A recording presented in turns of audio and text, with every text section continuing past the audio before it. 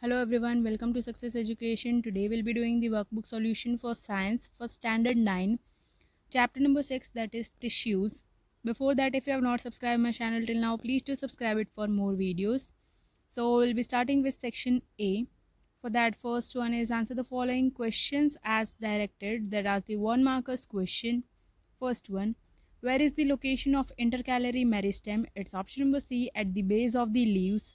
Second, which chemical is deposited on the wall of the cork cells? It is suberin. Third, except which element all remaining elements of phloem are living? It is phloem fibers. Fourth, which animal tissue acts as an insulator? It is adipose tissue. Fifth, find the characteristic of the muscles of the heart. It's option number A, cylindrical, branched, and uninucleate. Sixth, a mucilaginous canal can be observed in cortex region in the section of stem. Seventh, which tissue has a characteristic of Haversian canal? It is bone tissue. Eighth, parenchyma tissue is chlorophyll containing parenchyma. Uh, ninth, which tissue present in the hard covering of seeds and nuts? It is sclerenchyma. Tenth, Identify me. I am enclosed by two kidney shaped guard cells located on the surface of leaf and helpful in transpiration. It is stomata. 11th. Which animal tissue helps to push the mucus forward to clear the respiratory tract? It is ciliated epithelial. 12th. Neutrophil type of white blood corpuscle, also known as polymorphonuclear leukocyte. 13th Thickening of suberin chemical on the wall of sclerenchyma cells makes them impermeable to air and water. State whether this statement is true or false. So it is false. 14th, the answer is meristematic tissue. 15th one is smash the following. So you can see the answers and complete it in your workbook. 16th answer is section of phloem and 17th one is first one collagen fiber and smooth muscle. 18th answer is neuron 19th one is false 20th one is xylem of parenchyma and 21st is again match the following. So you can see the answers and complete in your workbook. 22nd one is epithelial tissue 23rd is cuticle 24th is phloem and areolar tissue 25th is true and 26th answer is both x and y are correct. Y is correct explanation of x. Now we'll continue with section b. Answer the following questions in short within the limit of 40 to 50 words as directed. First one write any four characteristics of meristematic tissue. Characteristics of meristematic tissue are first the cells of these tissues are commonly called meristems the meristematic tissue has the quality of self-renewal. It has dense cytoplasm. It has thin cellulose walls. Nuclei are prominent in this tissue. Vacuoles are absent in this tissue. Second one, mention the characteristics of parenchyma. Characteristics of parenchyma are they are unspecialized cells with thin cell walls. Parenchyma are live cells they are loosely packed with large intercellular spaces between them. Chlorenchyma is parenchyma with chlorophyll. It forms basic packing tissue. Third one, explain the types of meristematic tissue. Meristematic tissues are divided into three categories. First one, apical meristem, present at the tips of roots and stems, increases the length of roots and stems. Second is lateral meristem, present on the lateral sides, increases girth of the stem and root. It is also known as cambium. And third one is intercalary meristem, present at the base of the leaves or internodes on twigs. Fourth question, write two points of difference between collenchyma and sclerenchyma. Uh, cells of uh, collenchyma are alive while cells of sclerenchyma are dead. Cells show thickening of pectin in collenchyma and cells show thickening of lignin in sclerenchyma. Intercellular space is less in collenchyma and no intercellular space is there in sclerenchyma. The second difference is between parenchyma and sclerenchyma. Parenchyma tissue is formed of living cells. Sclerenchyma tissue is formed of dead cells. Between the cells, there are usually distinct intercellular spaces in parenchyma, and between the cells, there are no intercellular spaces in sclerenchyma. The third difference is between xylem and phloem. Xylem consists of tracheids, vessels, xylem fibers, and xylem parenchyma, whereas phloem consists of sieve tubes, companion cells, phloem fibers, and phloem parenchyma. Three of these components are dead, and only one is living in xylem. And three of these components are living, and one is dead in phloem. Fifth question Write location properties and function of collenchyma. Collenchyma is located in leaf stalks below the epidermis. It is a living, elongated, and irregularly thickened at the corners. It has very little intercellular spaces. Functions of this are providing flexibility, helping in easy bending, provides mechanical support to the plant, and cells show thickening of pectin. Sixth question Explain structure and functions of stomata. Stomata are the pores present on the epidermis of the leaves. They are enclosed on either side by guard cells.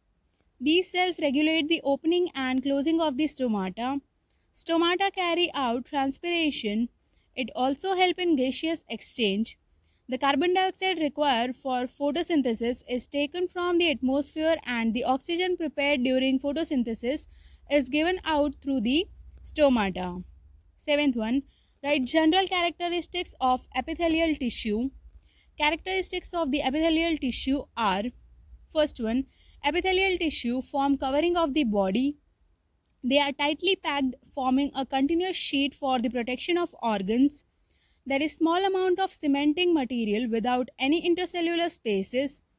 Extracellular fibrous basement membrane separates epithelium from the underlying tissues. Various epithelial cells play an important role in regulating the exchange of materials between the body and the external environments. Eighth question Write short note on columnar epithelium. Columnar epithelial cells are tall and pillar like in shape. They are concerned with absorption and secretion in plants. Columnar epithelial cells are located on the inner lining of the intestine. Columnar epithelium facilitates the movement across the epithelial barriers Example, inner lining of the intestine where the water absorption and secretion takes place. Now we'll continue with question number 9 that is write two points of difference. The first difference is between ligament and tendon. Ligament is a connective tissue which joins two adjacent bones with each other forming joints. Tendon is a connective tissue which joins muscles to the bones. Ligaments have very less matrix and matrix of tendon is more fibrous. The second difference is between bone and cartilage. Bone is made up of cells called osteocytes. Cartilage is made up of cells called chondrocytes. The matrix of bone contains salts of calcium and phosphorus.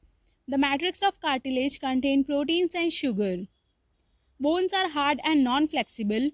Cartilages are not hard but are flexible. Tenth question is explain blood and its constituents. Blood by definition is a fluid that moves through the vessels of a circulatory system. In humans, it includes plasma, blood cells, and cell fragments called platelets. Plasma is the main component of blood and consists mostly of water with proteins, ions, nutrients, and waste mixed in. Red blood cells are responsible for carrying oxygen and carbon dioxide Platelets are responsible for blood clotting, while white blood cells are part of immune system and function in immune response. Now we'll continue with section C. Answer the following question pointwise. Uh, that is the three markers, uh, three markers questions. First one, explain simple permanent tissue having dead cells. The simple permanent tissue is made up of similar types of cells and hence they look like each other. Sclerenchyma is a tissue having dead cells. The scler uh, sclerenchymatous cells are polygonal in shape. They have no intercellular spaces. Sclerenchymatous cells are thickened due to lignin deposition around their walls. These cells makes plant parts hard and stiff. They provide strength to the plants. It is also seen in vascular bundles in which conduction is possible. Second one is state the name of xylem elements and write functions of each. Xylem is composed of cell called elements of four different types. First is tracheids. It provides mechanical support to the plant. Second, trachea. It helps in transporting water and dissolved minerals to the plants. Third, xylem parenchyma. It stores food and transports water and minerals to the plants. Fourth, xylem fiber. It provides mechanical support to the plant. Third question, describe phloem. Phloem is a complex permanent tissue. Along with xylem, it forms the vascular bundle. This conducting tissue is seen only in the higher evolved plants. Components of phloem are sieve tubes, companion cells, phloem parenchyma, and phloem fibers. Phloem transports food from leaves to all other parts of the plants the transport of substances in phloem takes place in both the directions.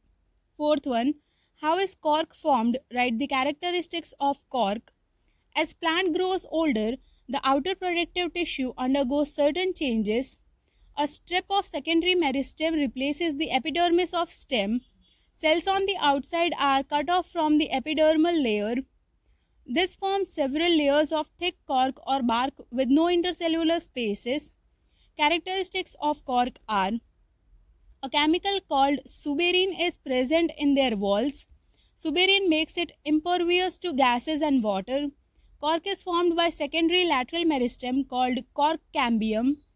The mature cork becomes dead and filled with tannin and resin. Now we'll continue with question number 5 that is give following information about areolar tissue. First is the location. Areolar tissue is present between the skin and muscles, around nerves and blood cells, and also in the bone marrow. Second is the structure. So, the name of the fibers are reticular fibers and collagen fibers are embedded in the matrix. Name of the cells are fibroblast, plasma cells, macrophage, and mast cells are the cells of areolar tissue. And the function is the main function of areolar connective tissue is to support internal organs they also help in the repair of the tissues. Sixth question Write short note on unstriated muscles. Unstriated muscles are also called smooth muscles as they are associated with all the vital organs located in the body. They are involuntary in nature and cannot act according to our will. The cells are long with pointed ends, unbranched and uninucleate. They do not have dark and light bands. Location of unstriated muscles are wall of the alimentary canal, ureter, trachea and bronchi and diaphragm. Now we'll continue with section D. First question. Draw net label diagram of unit of nervous tissue and explain about it. So the first question is, uh, sorry, so you can see the figure and the answer is Highly specialized cells for stimulation and transmission of stimulus form the nervous system. Brain, spinal cord, and all the nerves in the body are made up of nervous tissue. These specialized cells are called nerve, uh, neurons or nerve cells. Each neuron has cyton or cell body, single long axon, and many branched uh, dendri dendrites. Nerve impulse travels through nerve fibers Many nerve fibers, together bound by connective tissue, form the nerves. Nerves are joined with muscles and thus form combination by which locomotion is possible in all the animals. Second question is explain the structure of voluntary muscles. A voluntary muscle is a bundle of numerous striated muscle fiber. Each fiber is long, unbranched and enclosed in a membrane called sarcoplasm. Just beneath the sarcolemma in each fiber Many nuclei occur, thus these fibers are multinucleated. The sarcoplasm contains many myofibrils that are long, thin and unbranched. Striated muscle is a type of voluntary muscle. Each muscle fiber possesses alternately arranged dark bands and light bands. The muscle fibers are long and cylindrical as well as multinucleate. Being attached with the bones, they are called skeletal muscles. It is connected with the movement of limbs. The third question is what is parenchyma? Write its uh, properties, type and function. Parenchyma is a type of simple permanent tissue. This tissue is formed of living cells. Their cell wall is thin and made up of cellulose. It is loosely packed with large intercellular spaces between them. There are two types of parenchyma. They are chlorenchyma and aerenchyma. Chlorenchyma is parenchyma with chlorophyll. Aerenchyma is parenchyma with large air cavities within. Parenchyma forms basic packing tissue. Functions of parenchyma are support, storage of food, nutrients and water, photosynthesis in case of chlorenchyma, giving buoyancy to the plants and help in floating in case of aerenchyma. And here we come to the end of chapter number 6 that is tissues. I hope you have understood the complete chapter. If you have any doubts you can write in the comment section. I'll surely try to answer all the questions. Thank you for watching my video and do subscribe my channel for more updates. Thank you.